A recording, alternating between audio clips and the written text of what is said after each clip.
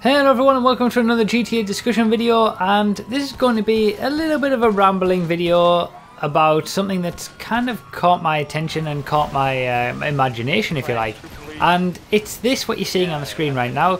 It's basically a brand new game mode that has been entirely created from the minds of the people in my community. You know the Nodo community have been sort of going over this and working out different rules and all that kind of stuff and just having a lot of fun with it and it's basically a big game of hide and seek. So you've got a team. It's basically an out uh, last team standing format. You've got a team of hiders and a team of seekers. The team of hiders have to blend in with the the AI and and try to remain unseen, whereas the seekers in the police cars, that's what I'm in in a minute, have to basically take them down.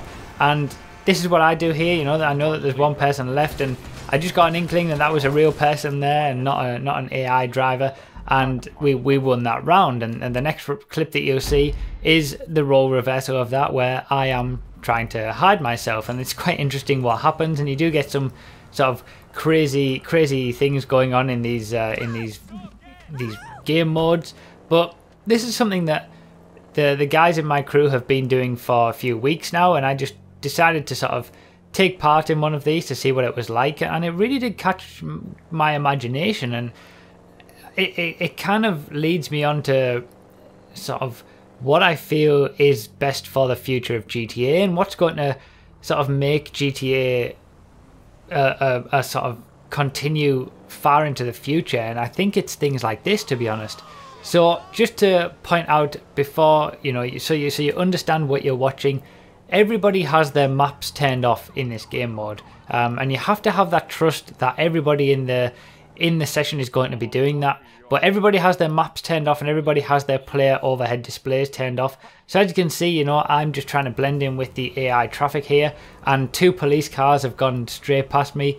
Um, this is this is the whole idea of hide and seek and you, you do have to have that trust which is why it only really works with a small number of people who are who are only really playing to have a bit of fun with it. They're not really playing to win specifically. They're they're just having a bit of fun and enjoying the game and enjoying their time uh, in this in this game and in this game mode. At this point, as you can see, I kind of get found out a little bit by this police car, so I decide to bolt and just go for it, and it becomes a bit of a chase. Um, and that that's what this whole game mode is about. You know, it's it's about trying to blend in so that these police cars can't see you because otherwise you know th- there's no map there's no overhead displays the only way that they're going to be able to see that it's a real player is possibly by the things that you're wearing, which I didn't really help myself with what I was wearing because I was I'm pretty recognizable with my character, um, and also the way that you act in game. So if you sort of drive erratically or, or, you're a pedestrian and you walk run around all that kind of stuff uh, have a weapon out stuff like that as, as a as a hider you've got to try and avoid doing all of that and you've got to try to blend in as best you can with the AI it's all in a in a sort of constricted area, so you can't go too far. You also can't go off road. You have to stay sort of in in certain areas and, and follow the rules really. And like I said, you know that's why it's important that you have people who are willing to follow the rules and and help with help with things like that. And it it, it wouldn't be possible in a random lobby, but I I I personally feel that it should be possible in random lobbies and it should be Rockstar that allows us to create game modes like this that can be officially supported for everybody.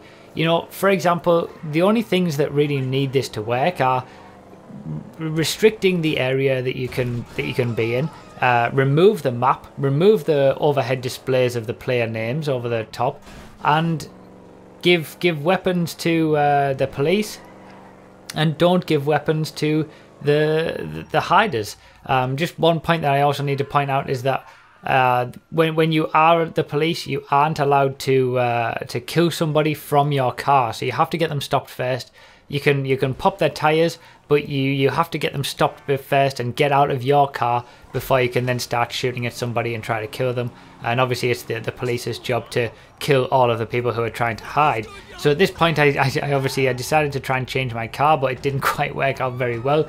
Um, and I have to sort of go on this chase again, but later on, I you know not not too far from this, I decided to try and change my car as well again, um, and it actually works this time, and I go back to being blending in with the the AI again and, and because I managed to get my car changed despite being ran over a couple of times they now don't know what car I'm in and I'm able to sort of pass go past a few police cars um, who are obviously other real players on the other team without them knowing who I am and without them stopping for a while until they finally catch on. So and I don't know how that police bike didn't see me of course but yeah you know there's very little things that you need to to sort of set in stone for this to work. And obviously, as it stands right now, this is all based on trust. So you have to trust that people are going to turn off their maps, people are going to turn off the, the names above players and stuff like that. But I, I feel like Rockstar should use the content creator to give us the option to force that. So you know, when you create a job, you can force the maps to be turned off. You can force pretty much any option that you want to create these unique game modes where you don't necessarily have to be following rules or have a group of people who you, who you have to trust to follow the rules to, to do it successfully. And I think that really does really would extend the longevity of this game. I think it would really help with that. Because what other game could you do something like this in? What other game could you create your own game mode out of out of nothing really, um, and and have so much fun with it? And I can speak from experience that this is a really fun game mode. And if this was officially in the game as a as an official game mode from Rockstar, then it would it would definitely be one of the most fun to play. And we've we've seen this happen before, you know, like with the busted game mode that we did that turned into a live video. Um, I'll put the link to that in the description. We've also done it with various race events, you know, the multi-class endurance stuff and the uh, the rallycross events that we've done.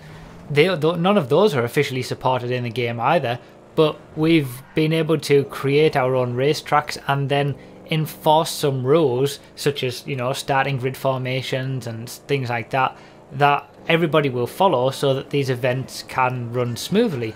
And it's just kind of an extension of that. And I, I would like to see that we get a little bit more freedom with what we're able to do. Probably the content creator with, you know, this is the, the really the content creator is the only way you can sort of do things like this. Um, and I do think the content creator is one of those things that is really going to sort of be the, be the main thing that keeps GTA fresh and interesting. And and this is such a refreshing game mode to be playing because it's something completely new and completely different, even two years after the games already came out.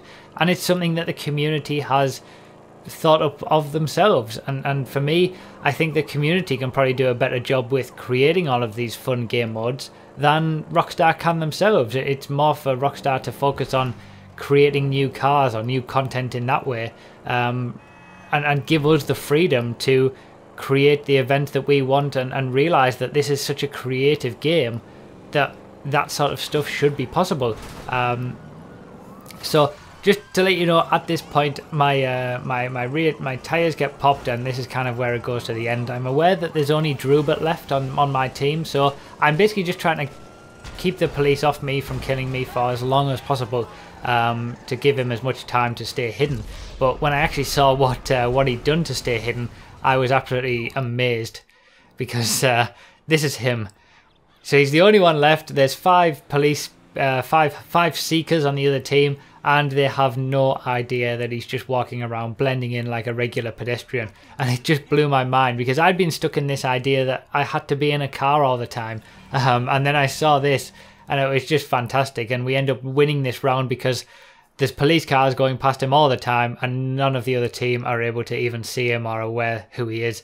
Uh, it's just so cool to see that. Um, but yeah, this is the sort of thing that I think can make GTA last even longer and be continue to be refreshing. So let me know all your thoughts down below about this game mode, about the idea that we should be given a bit more freedom with, you know, what we can do and also with the cars that we can buy and all that kind of stuff to make this kind of stuff relevant and, and make it available to everybody without having to sort of go through all of those trust things and allow and have people uh, you know follow the rows without you actually knowing whether that's what they've really done. So let me know all your thoughts down below. This was a bit of a rambling video, but I haven't done one in a while, so I figured I might as well. And this game mode did just catch my imagination a little bit.